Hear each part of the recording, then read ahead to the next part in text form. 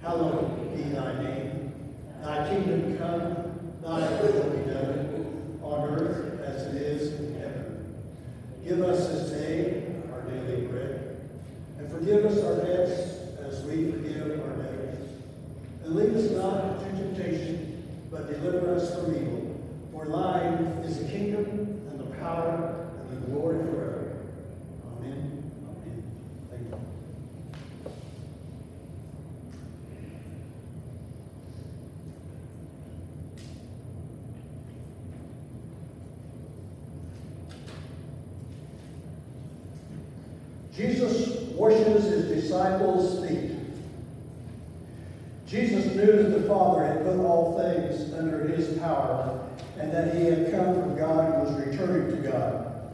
So he got up from the meal, took off his outer clothing, and wrapped a towel around his waist.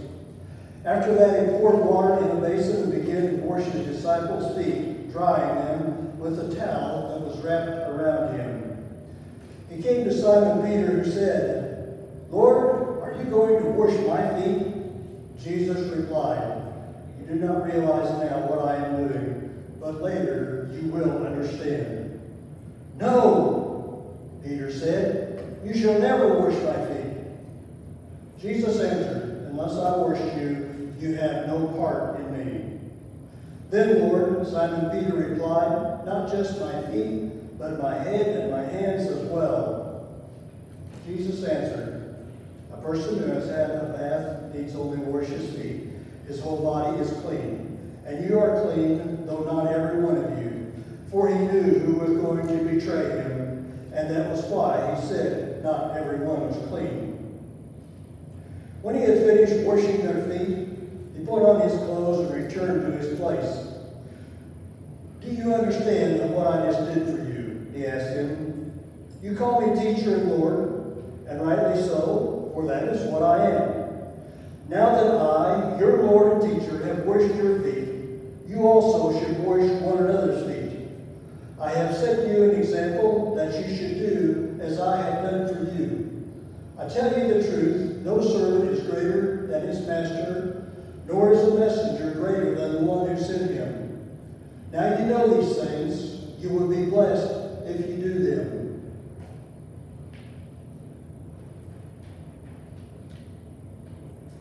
I think giving up ourselves is the hardest thing we have to do. It's just not a natural thing. It doesn't come with us physically.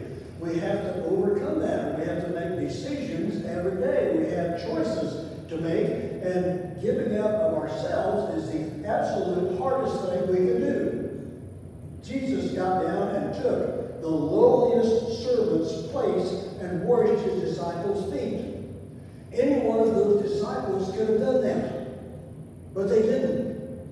So Jesus did it them. He knew they weren't going to. So he did it for them. And he said, Look at the example I am giving for you. Here I am, your Lord, your master, your teacher, your everything, and I'm doing this for you. Do that for everyone you come in contact with. When we celebrate this supper, we remember Jesus and what he was. Everlasting Father, your word states that as often as I eat this bread and drink this cup, I proclaim your death until you come. I thank you for offering me this hope even in your death. Thank you for this communion, which is a symbol of the realization of a spiritual union between you and I. Thank you for not only washing away my sins on the cross, but for welcoming me into a bond with you. Amen. If you would like to take in unison, I will be taking after I break the bread and bless the cup. The Bible tells us that as they were eating, Jesus got up, took the loaf, broke it in two. This is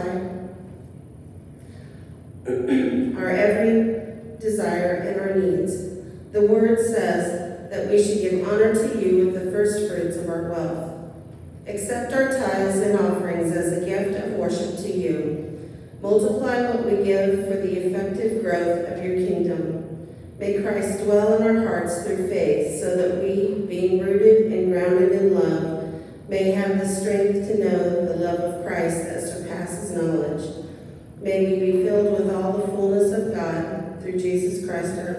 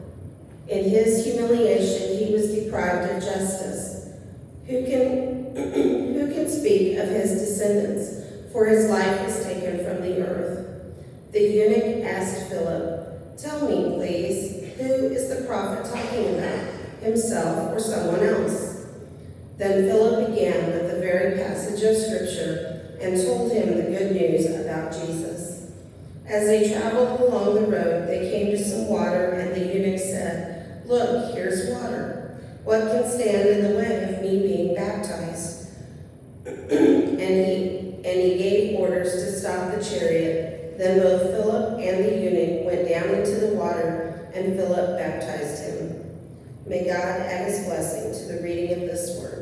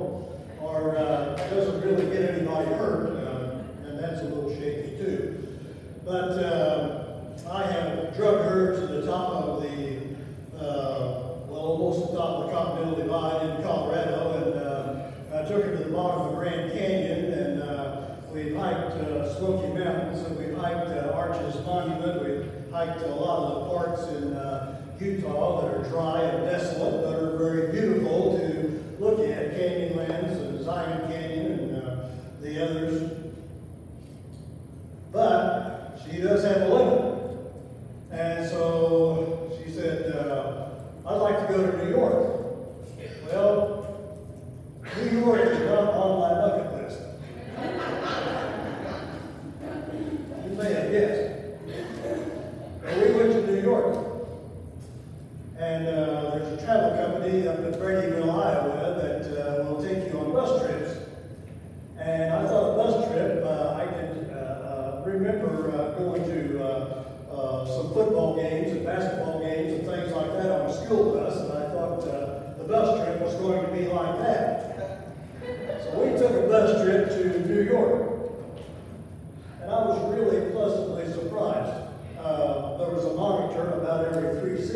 kept us entertained constantly. And uh, with something going on, uh, uh, some some interesting videos and some with uh, some humor in them. Uh, and we stopped at places of interest. When we took a break, why we stopped at some place that was a place of interest that uh, was was fun to see and was interesting too. And I thoroughly enjoyed it. I did not really care for New York, but there's a lot to see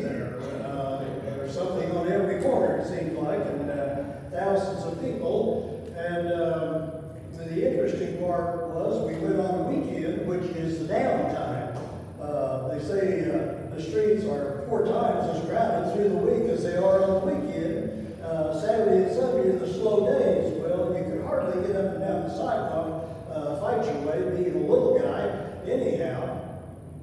But we did make it. We had a good time and, and we seen a lot.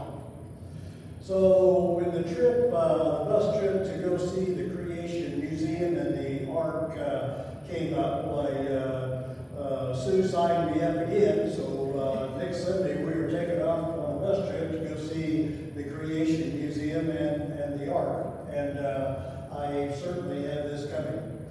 But uh, just kidding, just kidding.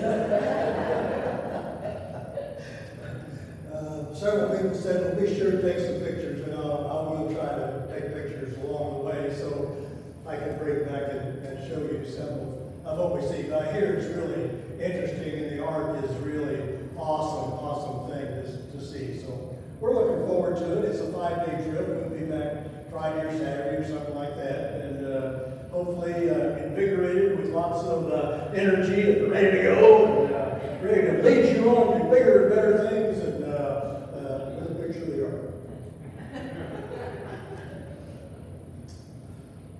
Read one time that there was a minister got up. This was a brave guy. He had courage. And he said, Love, people, love. And then he sat down and he stared at the congregation for 30 minutes. He got up gave the benediction, and they had the closing hymn, and that was it. Half the people thought it was the best sermon they'd ever heard in their life. Half the people were furious and were calling for him to be tar and feathered. I kind of forgot about tar and feathering until I watched the Music Man over the fourth. Someone asked me if we had an exciting fourth, and I said we sure did. We watched the Smithsonian Channel uh, uh, fly over the states and national parks, the places of interest. It was really kind of nice.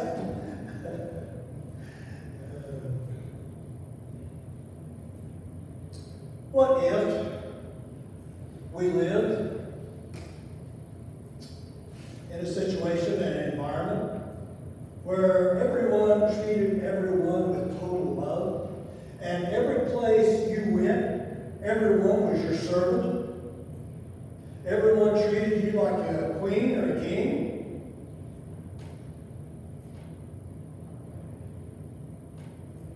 We pray in the Lord's Prayer, Thy will be done on earth as it is in heaven. Do we really try to make that happen? Do we try to make that come about?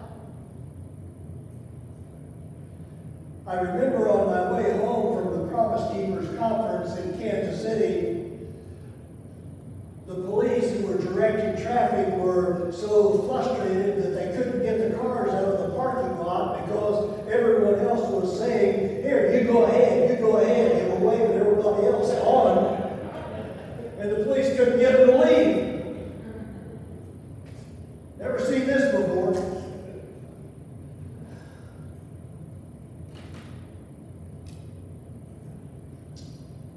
After the Holy Spirit came, and the apostles were so empowered,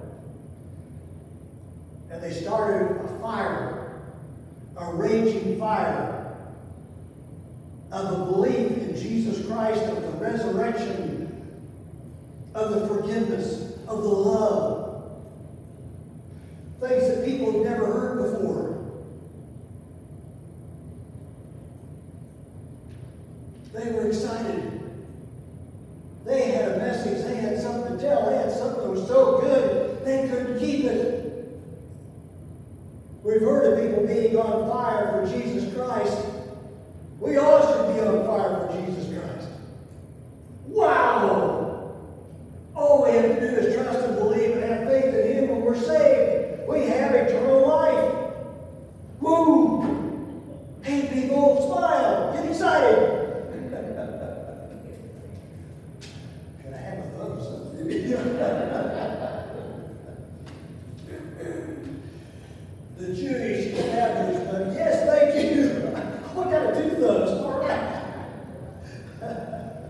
the Jewish establishment was terrified.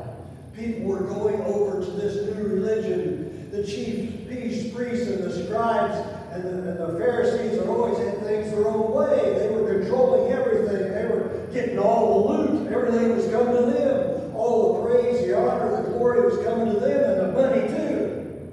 And they were losing out. Hey, something's got to be done. Things have got to change. We can't have this. So they persecuted the church. People had to leave in the middle of the night because they were being drug out and put in prison, and it wasn't any secret who the Christians were. They couldn't make a secret of themselves. But with that, Christianity spread. They took with them the seed of that gospel. They took with them that knowledge. They took with them the desire. They took with them the overflowing cup. They took with them that spark of fire. And they lighted it everywhere they went. Philip went to Samaria, preached down there, excited the people. Then he went on. And here we find him walking down a dusty road, and a chariot comes by, and this fellow who is big in the uh, uh, kingdom of the next next uh, country, uh, who has lots and lots of authority, is reading the Bible. And so Philip goes trotting along beside him there, saying, "Hey, you know what you're reading?" And the guy says, How can I understand it unless someone explains it to me? What is it? A sheep going to the shearer? What is a, a lamb going to the slaughter? What's that mean? So Philip gets up and explains it to him about what the gospel has to say and everything from that point forward to Jesus dying on the cross and giving his life for each and every person who comes uh, to him, believing in him and trusting in him and having faith in him and giving up themselves. They come to a stream, and the eunuch says, What is there to keep me from being baptized? Philip says, You come down here with me, and I will baptize you right now. If you want this, and you really believe and trust in it, then come ahead. You are welcome in the kingdom of God. All you have to profess is a belief and a faith in Jesus Christ, and you are welcome. One thing I love about the disciples of Christ is they are welcoming, they are inclusive, and they allow anyone to come in. They include everyone. So Philip baptizes the big man of Ethiopia, and he goes on his way rejoicing. But he takes with him that spark of knowledge, that spark of belief, that spark of fire that lights the fire. He took with that, that with him. Let's go back and take a look at that scripture. Philip is going along there and he's trotting along beside the chariot. He's trotting along. That takes some effort. How much effort did we put out this week to spread the kingdom of God, to spread the knowledge of God? Did we put ourselves out in it? Did we go trotting along beside somebody or try to chase them down the sidewalk and say, hey, you know about the kingdom of God? Probably not. But did we put out any effort? Did we at least pray for someone to witness to? Is there ever too much prayer? Is there ever too much peace? Is there ever too much forgiveness? Is there ever too much grace? Is there ever too much love? Is there ever too much God? Is there ever too much Jesus? Do we ever pray too much? Did we pray for the opportunity? Did we pray for someone? You know, prayer is a strange, strange thing. Uh, how God answers that prayer is, is just amazing, and we never know exactly how it's going to be. Uh, we may pray for one thing and get answered over here, coming in from this side when we were looking this way. But God is there, and He does answer our prayers if we just look back and see, oh, yeah, wow. Why didn't, why didn't I think of that? Why didn't I see that coming? So Philip was putting out some effort there. Did Philip assume that the eunuch knew everything and understood everything he was reading? Well, we can back up and say, well, wait a minute. he was guided by the Holy Spirit. Of course he knew things. But are you ever tempted by the Holy Spirit? Are you ever uh, nudged a little bit? Are you ever pushed a little bit? Or somebody uh, kicking you in the ribs here a little? Oh, that's an elbow. Kicking you. Yeah. A little excited, too much coffee. Elbow in your ribs and saying, nudging you. Let's do nudge. And saying, hey, hey, did you see that opportunity? Did you see you had an opportunity there? Did you know that opportunity was open to you? And maybe after you got home, you got thinking about that. Why in the world didn't I? Well, if we'd been praying for that, would we have remembered? Would have come up and said, oh, yeah, okay, hey, what do you think about this? Just as a casual uh, subject of conversation. What do you think about the way God answers prayers? How do you feel about that?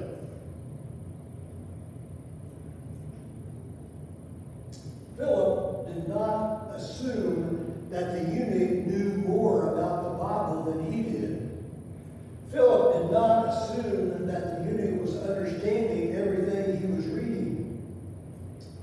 How many people are there in our community who would love to understand more about God? Is there 3,000 people in church in our community today? Would we have 15,000 maybe in our general area? 15,000 people, maybe 3,000, that's being generous, are in, are in worship service this morning. That only leaves 12,000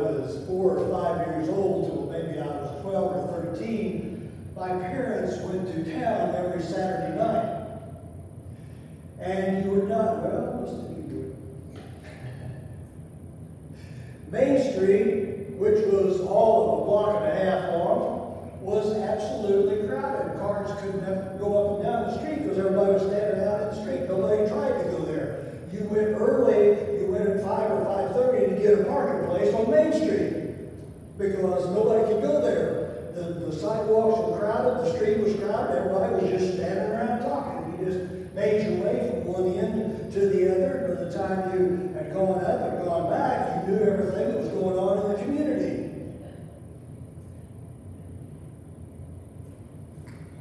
If somebody had a broken leg or was sick or had the flu or something like that, why, somebody got on the party line and said, hey, so-and-so is, uh, sick and we need to plant his crop. He's got 40 acres corn needs to be planted, so you, you, you, you, uh, let's meet over there Wednesday morning and if it's uh, so we can work, we'll go plant corn for him. And that's the way it was done. So-and-so's got a beef butcher. Four or five of us need to go help butcher beef, or so-and-so's uh, butcher hogs, or so-and-so's uh, uh, building a shed. And that's the way it was. It was a community. It was a family. I was kind of taken aback at the purpose-driven life when Rick Warren said, how many people there are, what percentage of our population get up in the morning, eat their breakfast, get in their car, go to work, they go to the break room, look at their phone all the time, they're having their coffee and donut, go back, sit in the cubicle all day, get in their car, go home, uh, push a button, the garage door opens, they drive their car in, they shut the garage door, God's news to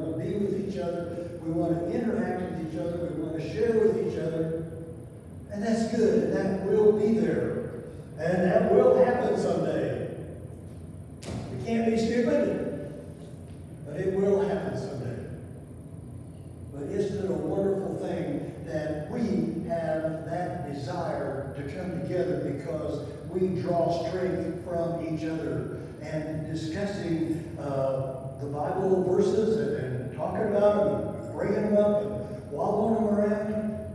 That's good. That's good because every time I share my faith with you, it strengthens me and it strengthens you.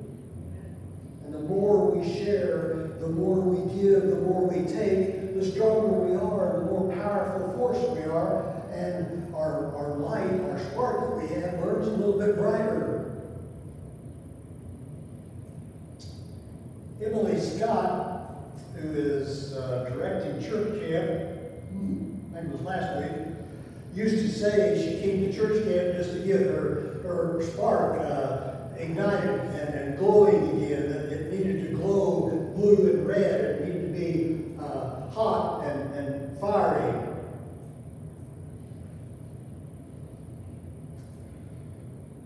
Drew, you, uh, Drew?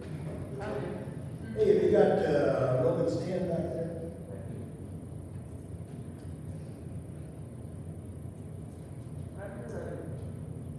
Thank you. Romans 10 says, All who believe and call on the name of the Lord will be saved. But who can know about the name of the Lord and the forgiveness of God and the forgiveness of Jesus Christ and the sacrifice of Christ unless they are told? Someone has to come and tell. Someone has to come and share. Someone has to come and, and, and give the message. We have that message. It has been given to us. It has been entrusted to us. And that's the only way God has to keep the fire going. We are responsible for stoking the fire, for poking another wood, piece of wood in there, for uh, kind of stirring it up, kind of, kind of getting it excited a little bit. Last part of that says, Blessed are the feet of those who preach the good news. Blessed are the feet of those who take that message to others. You're blessed when you do that. I told you about uh, having a Wednesday night supper in King City for several years and touching so many of those young people and drilling the verses into their heads. Started a uh, Wednesday night supper in Lathrop. One time we were feeding, kind of averaging 100 people every Wednesday night. It was a lot of work. We spent a lot of Tuesday getting ready. We spent most of uh, Wednesday cooking, and we spent uh, uh, some of Thursday cleaning up. And it was a lot of work. It was a lot of trouble. It was hard. All we had was just a couple of songs and maybe a little devotion, just a short uh, Bible verse, a little explanation. But you know what? It gave us value. It made us valuable because we were touching people. And when we feel valuable, we feel good about ourselves. And when we're when we're sharing with other people and we're getting feedback and going back and forth, it makes us valuable. It goes beyond understanding. First Corinthians said, the foolishness of God is wisdom to men. The foolishness of men. The wisdom of men is foolishness to God. The wisdom of God is foolishness to men. The wisdom of God is we give ourselves up. We give ourselves up. And Jesus said, if you keep your life for yourself, you're going to lose it. You give yourself up to everybody else, you'll find it. Doesn't make sense. Foolishness. But it works. It works. I'm here to tell you it works. You feel valuable. You feel good. You're doing something that God wants you to do. And, and it, it's, it's a peace and understanding that goes beyond. He gives himself up, will find his life. He who saves his life for himself will lose it. Satan comes to kill, steal, and destroy. I have come that you might have life and have it to the full. I have come that you might have life and have it to the full. What do you pray for for a church? What do you pray for for a church?